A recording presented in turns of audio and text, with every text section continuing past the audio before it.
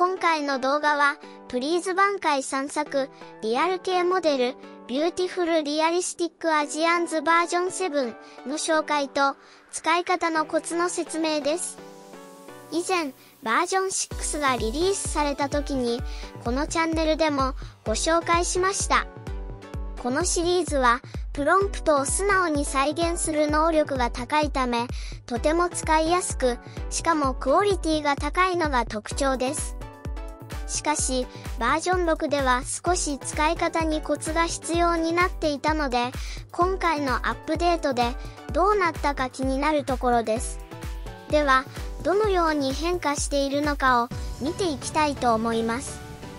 まずは、バージョン6でベースに使用したモデルとの比較です。シード値とプロンプトは同様のものを使用したイラストになります。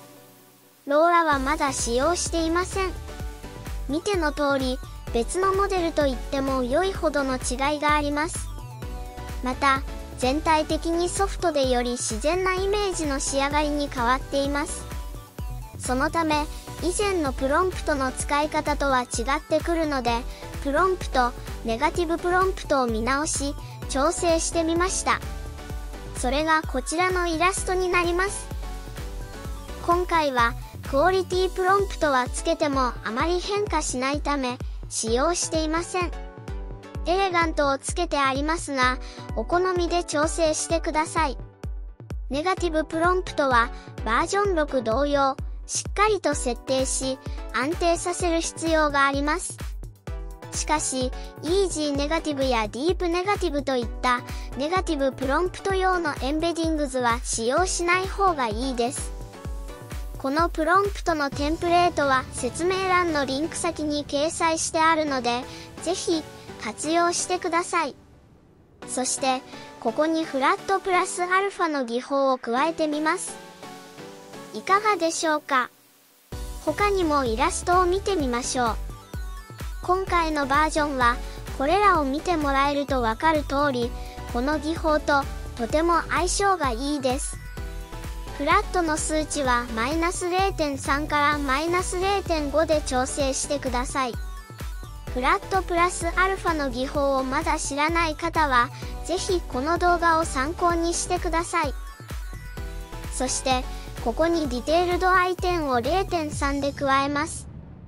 これによって、日本人の雰囲気を持つイラストが生成できます。しかし、バージョン6と違い、超リアルなイラストの生成法は合わないため、使用はおすすめしません。特に、肌の質感を変えるローラのスキンハンズフロムポリヘドロンとはとても相性が悪いです。作用が大きすぎるため、全く違うイラストになってしまうか、崩壊します。そのため、ディテールドアイテンの使用ぐらいで止めておくのが良さそうです。では、これらを踏まえて生成したイラストを見ていきましょう。このように、日本人の雰囲気のある自然なイラストが生成可能です。いかがでしたでしょうか？